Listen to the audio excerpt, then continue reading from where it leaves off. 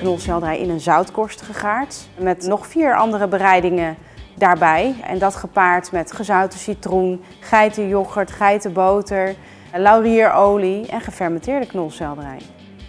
Het is een gerecht dat iedereen gewoon kan verbouwen in je moestuin. Waarom wij hem zogezegd future-proof gemaakt hebben, we garen hem dus in een zoutkorst. Je gooit helemaal niks weg. De schil niet, de binnenkant niet. Je maakt van alles maak je iets. Ik ben dus Marleen Brouwer. Ik doe mee aan Restaurant van de Toekomst. Een man, een zoon en een fantastisch restaurant.